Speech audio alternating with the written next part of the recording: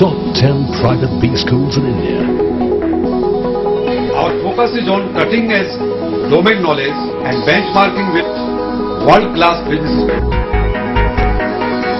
Big Tech. Excellence with values. Degree है तो police अपना पूरा काम छोड़ के इसी काम के पीछे लगी हुई है उसके बाद जब मैं भारतीय सेना में था। कारगिल युद्ध मैंने लड़ा। मेरी डिग्री को किसी ने नहीं पूछा। जब छब्बीस ग्यारह ताज होटल का हमला हुआ, हिंदुस्तान की तमाम फोर्सों ने जहाँ तक कि पुलिस ने वहाँ लड़ने से मना कर दिया था तो रातों रात हम वहाँ पहुंचकर हेलीकॉप्टर से जब वहाँ उतारे ताज होटल पर बेजरूरी किस्म के साथ मैंने अपने देश के लिए, अपने भाइयों के लिए गोलियाँ खाई, उस टाइम मेरी डिग्री को किसी ने नहीं पूछा। उसके बाद जब मैं डिसेबल होने के बाद मुझे घर पेंशन भेज दिया, उन्नीस महीने तक मैं दर दर की ठोकरे खाता रहा सुषमा स्वराज से लेके सोनिया गांधी से लेके लाल कृष्ण आडवाणी के दरवाजे तक मैं पहुँचा। मेरी किसी ने नहीं सुनी और ना ही मेरी डिग्री के बारे में किसी ने पूछा।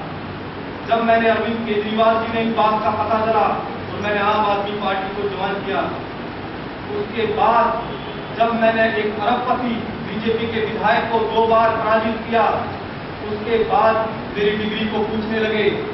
तो जब से एक रैंक और एक पेंशन का जो मुद्दा जो सामने आकर खड़ा है, जो बीजेपी का एक बहुत बड़ा झूठ जो सामने आ रहा है, देश की जनता के सामने मैं एक सैनिक हूँ, इसलिए मुझे भी वहाँ भी दबाया जा रहा है उसके बाद डिग्री को पूछा गया। हाँ एफिडेविट जो चुनाव का भरा गया, वहाँ पर इलम यूनिवर्सिटी सिक्कम लिखने की बजाय लिखते समय हमारे से गलती हुई। हमने सिक्कम यूनिवर्सिटी लिखा गया। उस गलती को पकड़कर मोदी जी की पुलिस मुझे जेल में डालने के चक्कर में है। हाँ मेरे पास डिग्री है इलम यूनिवर्सिटी की डिग्री है। मैं कहता हूँ उसे आप फर्जी घोषित करके दिखाएँ।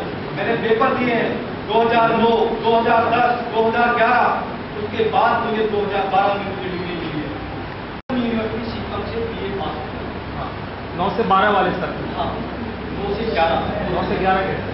नौ दस नौ, दस, ग्यारह। बारह को डिग्री मिली उसके बाद जो इलेक्शन के अंदर जो भरा गया फॉर्म भरा उसमें लिखते समय तो जो इलम यूनिवर्सिटी सिक्कम लिखना था इलम टेक्निकल एरर से छूट गया सिक्कम यूनिवर्सिटी उस बात को लेके इन्होंने सिक्कम यूनिवर्सिटी को उसमें इलम हाँ, सिक्कम यूनिवर्सिटी को आईटी लगाई सुरेंद्र सिंह नाम का कोई व्यक्ति आपका स्टूडेंट है? में तो मना करना था। उस बात को देखे उस आरटीआई को देखे कोर्ट में फंसाने की